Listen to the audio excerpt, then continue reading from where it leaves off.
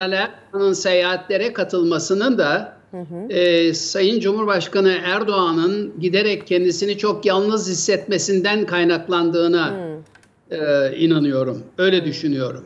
Böyle de bir e, nedeni var diyorsunuz. Peki, evet, evet. E, Sayın Dündar bu... Çok güvenebileceği en yakınındaki bir kişi olarak e, Bilal Erdoğan'ı gördüğünü e, değerlendiriyorum. E, aslında e, bu da tabii yani Cumhurbaşkanı Erdoğan'ın e, ne kadar çevresiyle ilgili belki değil mi? Parti ve partiye yakın isimler en yakın çevresine dair bile bir güven e, bunalımı yaşadığını gösteriyor. Böyle de yorumlanabilir değil mi? Evet, evet. evet. Çok uzun süreli bir iktidar. Hmm. Türkiye'de 20 yıldır varlığını sürdüren bir Adalet ve Kalkınma Partisi iktidarı giderek sıkışan ekonomik politikalar, içine girilen siyasal darboğaz e, hem e, yıpratıyor iktidarı ki e, iktidar denilince akla Sayın Cumhurbaşkanı geliyor evet. hem de yalnızlaştırıyor. Dikkat ederseniz e, partiyi kurduğu yol arkadaşlarından hemen hemen kimse kalmadı çevresinde. Hepsi evet. tasfiye oldu.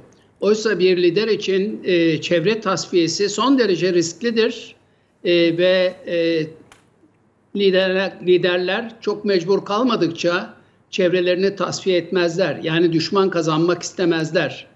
Ama görülüyor ki Sayın Cumhurbaşkanı giderek bir yalnızlığa e, doğru ilerliyor ve burada da en güveneceği isimlerden biri olarak çocuğunu herhalde görüyor ki e, seyahatlerde de yanında götürmeye evet. başladı. Ve bu yüzden herhalde özel tercüman kullanıyor e, Merve Kavakçı'nın kızı Fatıma Gülhan Kavakçı Abu Sanap. E, bu da tabii son günlerde CHP'nin Genel Başkan Kemal Kılıçdaroğlu'nun paylaşımlarıyla bu konuya dair eleştirileriyle gündemde. Fakat sonra ne oldu? E, bu eleştirilere ilk tepki Mustafa Varank'tan geldi ve Kemal Kılıçdaroğlu'na rezilsin dedi. Hanım kız ifadesini kullandığı için. Arkasından da Fatıma Kavakçı e, suç duyurusunda bulundu Kemal Kılıçdaroğlu ile ilgili ve ifa ettiği kamu görevi nedeniyle hedef alınarak nefret ve tehdit diliyle saldırıya uğradığını iddia ediyor. Avukatı aracılığıyla yaptığı açıklamada Sayın Dündar hiç aklınıza gelir miydi ya da tahmin eder miydiniz hanım kız ifadesinin buralara getirilmesine böyle bir e, hakaret e, içerikli bir söz olarak algılanmasına, böyle lanse edilmesini bekler miydiniz? Çok şaşırdık. Böyle Seda Hanım, e, Bilge Confucius kötü düşünen kötüdür der. Şimdi Hı-hı. siz e, hanım kız tanımlamasına e, tamamen e, o sözcüklerin ifade ettiği anlam açısından bakarsanız rahatsız edecek hiçbir şeyi bulamazsınız. Hatta e, biraz da onorasyon e, olduğu söylenebilir. Onore etmek amacıyla hanım kız e, dediğini düşünebilirsiniz. Burada istiskal edici, e, burada rencide edici, kişilik haklarına saldırıcı, özel yaşamla ilgili değerlendirilebilecek bence hiçbir olumsuzluk yok. Burada maksadını aşan bir yorum söz konusu çok değişik bir yorum söz konusu. Siz hanım kız sözcüğüne iyimser bir açıdan bakarsanız hiçbir olumsuzlukla karşılaşmazsınız. Ama ön yargıyla yaklaşırsanız sayın sözcüğünde bile sizi rahatsız edebilecek bir tonlama olduğunu söyleyebilirsiniz. Bence bu siyasetin hırçın dilinin geldiği son noktadaki absürt eleştirilerden birisi. Absürt yaklaşımlardan birisi. Yani bir yanda işte sürtük sözcüğünün e, rahatlıkla telaffuz edildiği bir siyasal söylem ortamı, öbür yanda hanım kız sözcüğünün hakaret olarak telakki edilebildiği, değerlendirilebildiği bir bakış açısı. Ben bu paradoksu doğrusunu isterseniz çok yadırgıyorum e, ve bu detaylar üzerinden e, sonuca gitmek ya da siyasal bir e, sonuç bekleme çabasını da son derece olumsuz olarak değerlendiriyorum. Ee, insanlara çok kötü yansıyor böyle değerlendirmeler. Evet. Sokaktaki evet. insanlara e, gerçekten çok negatif yansıyor ve onlarda e, kavgacı, onlarda hırçın e, bir takım m, düşüncelerin eyleme dönüşmesine neden olabiliyor. E, Cumhurbaşkanı Erdoğan da aslında kendisi sık sık hanım kardeşlerim diye hitap eder kendi kitlesine. Çok yerde e, vatandaşla bir araya geldiğinde, miting meydanlarında, katıldığı programlarda çok duymuşuzdur bunu kendisinden.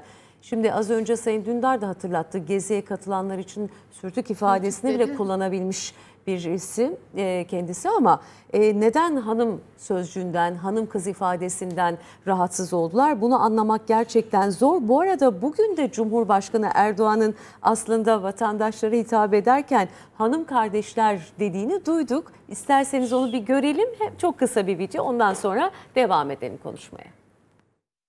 Şu anda karşımda hanım kardeşlerimi görüyorum.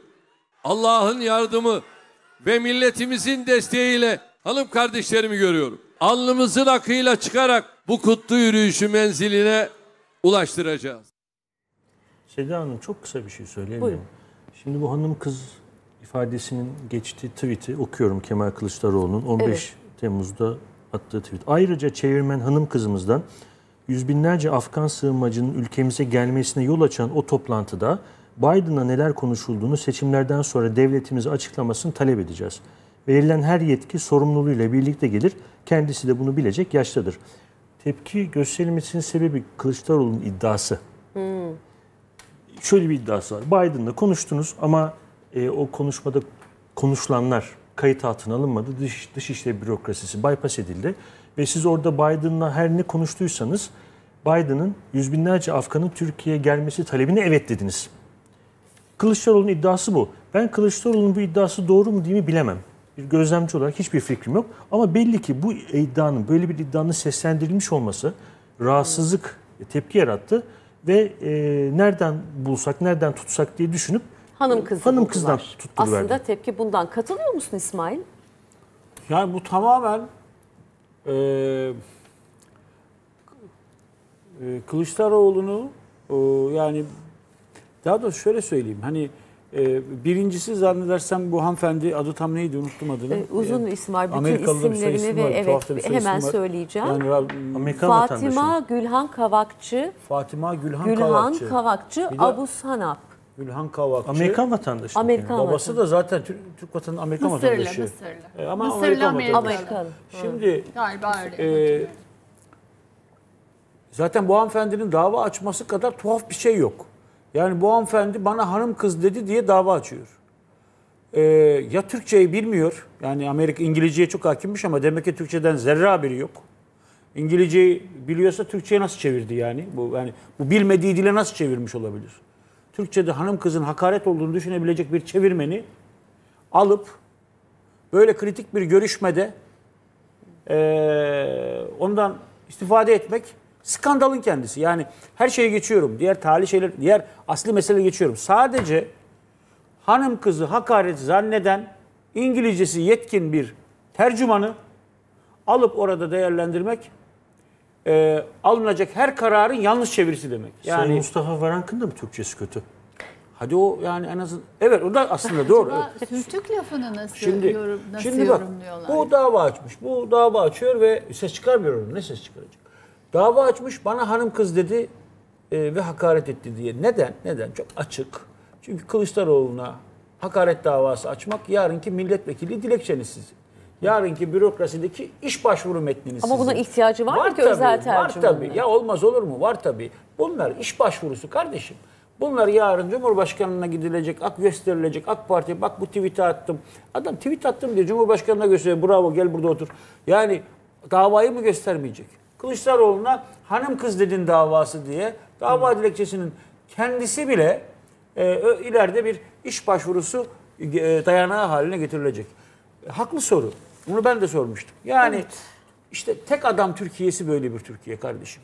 Bütün kavramların takla attığı, bütün değerlerin takla attığı Türkiye. Çünkü bütün kavramların ve değerlerin içini tek adam iktidarı dolduruyor. Fakat bunun içini de döneme göre dolduruyor. Bunun içini de e, o ik- iktidarının o evresinin e, performansına göre dolduruyor. Hiçbir kavram ve hiçbir değer e, e, ezel ve ebed aynı anlamı taşımıyor. Çünkü iktidar dün e, ettiği yemini sabah terk ediyor. Şimdi e, o yüzden yahu İnsan tutarlılık bekliyor. İnsan şundan ötürü tutarlılık bekliyor. Siz hanım kıza hakaret dediniz. Ben bildim bileri siyasal İslamcılar yahut muhafazakar partiler kadın kolları demez, hanım kolları der ya. Yani onu bile demezlerdi. Yani kadın demekten bile imtina edip Kadın demezler. partimizin hanım Evet. kolları derlerdi yani. Ya siz nereden nereye geldiniz? Kadın demekten imtina edip hanım diyordunuz. Hanım kıza suç diye bakmaya başladınız. Çünkü kavramların ve değerlerin içlerini kendi tutarsızlıklarıyla, kendi çelişkileriyle e, e, doldurdukları için işte bu sonuca varılıyor. Ve sonra şimdi Cumhurbaşkanı herkese hakaret edebilir. Bu belagat olur. Cumhurbaşkanı herkese ağzına geleni söyleyebilir. Bu e, hatta kimilerine, kimi AK Partililere göre büyük liderlik olur. Bu zaten e, işte büyük siyasetçinin yapması gereken